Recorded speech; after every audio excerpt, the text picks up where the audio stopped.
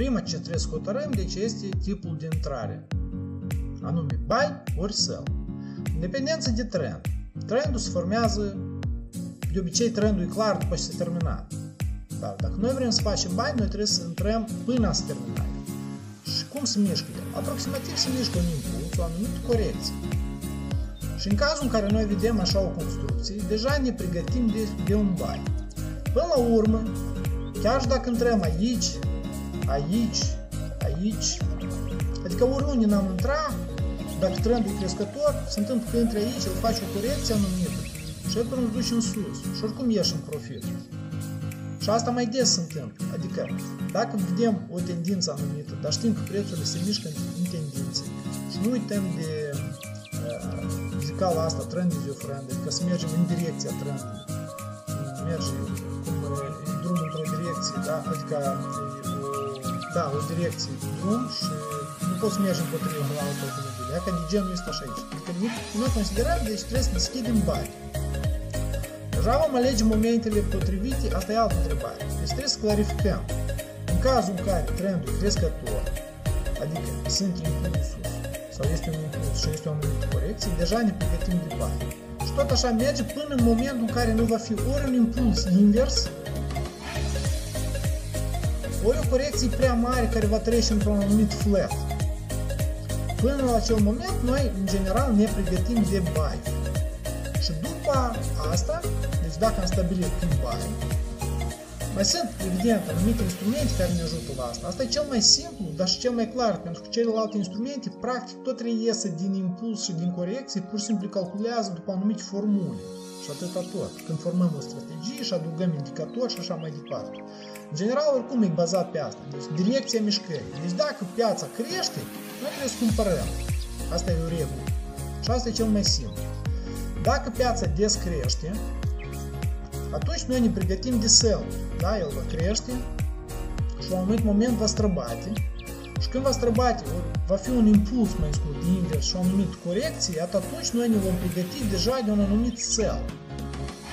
Și iarăși, putem să vindem de aici, putem să vindem de aici, de unde mai vindem în general. Important, noi am înțeles că trebuie să vindem, pentru că prețul scade. Și când prețul scade, noi vindem de obicei. Și cât mai des, cu atât mai bine.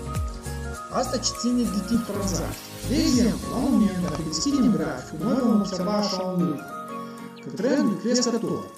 Adică, noi ar trebui să, să ne străduim, să cumpărăm. Și de când s-a început el? Iată aici era un flat. Mai departe, un impuls, o corecție, este steag. Nu fine. Chiar steag, nu steag, steagul e direcția pieței, de tipul tranzacției tot ăsta. Da? Deci noi ne orientăm la un buy. Buy, buy. Vedem un impuls invers, este un impuls, nu e mișcare simplă. Deja ne oprim și gândim, așteptăm o corecție anumită ca să deschidem poate un sell, mai vedem. În final ne uităm că iarăși un impuls în sus și altă corecție. Eu, și din cazul dat, noi ne străduim tot buy, buy, buy. Și trebuie să alegem, evident, momente. Chiar și să intra de aici, el în final oricum a crescut și uitați-vă până a crescut. Deci atâta timp cât mergea impuls și corecție în sus, noi trebuie să cumpărăm. Deja când am ieșit un impuls aici în jos, că el a format un fel de cap și umeri, mic aici umărul este slab, pe urmă a făcut un umăr mai mare și a încercat să străbată în jos. Asta tot e de tipul tranzacției. Adică figurile arată tipul. Cap și umeri ce arată? Un impuls, o anumită corecție și noi așteptăm alt impuls care se va duce în jos. Și dacă am trasat aici o linie gâtului, am observat el practic nu a străbătut-o. Ceva, ai ca tare și a fost noutăți, dar asta nu contează. În final, el totuși real nu a străbătut-o, de așa n-am vândut. El nu a mers. Dacă îți trec la un grafic mai mic, veți atrage atenția că el e Ia că el și aici a fost un anumit steag, a fost un mic, microimpuls, o anumită corecție și aici s-a pornit impulsul în jos, adică a ieșit din steagul ăsta direcție, sell. Și până la nivelul ăsta se primește. Adică linia gâtul, hai, fi, nu contează. Uh, și noi ne orientăm la sell. Și acum, în cazul dat, am mers un impuls mai departe în sus. Ce facem aici? Tipul tranzacției este buy, evident. Pentru că impulsul în sus, trendul crescător, gata, e simplu, e clar, e buy.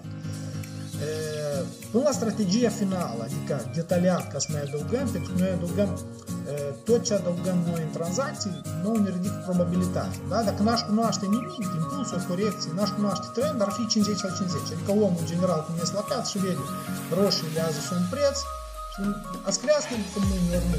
50 la 50.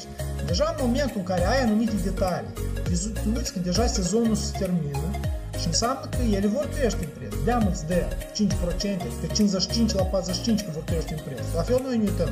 Este un trend crescător, sunt impulsuri, corecții și așa mai departe, deci deja e mai mare probabilitatea să crească. De asta în trading totul e bazat pe probabilități, totul e matematic. Și datorită acestui fapt, noi asta putem aranja cu un anumit business, evident, și să ajungem la, la profit stabil. Și spuneați că aici e impuls, Așteptăm o anumită corecție și deja vom alege momentul potrivit de acum. Noi putem și de aici să cumpărăm. Și el, în general, să crească. Uh, el poate să scadă și pe urmă să crească. El poate deodată să crească. Deci noi nu știm asta și nici nu trebuie să ghicim.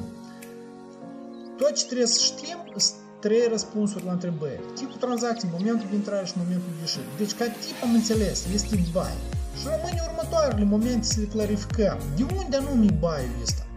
De la un anumit suport.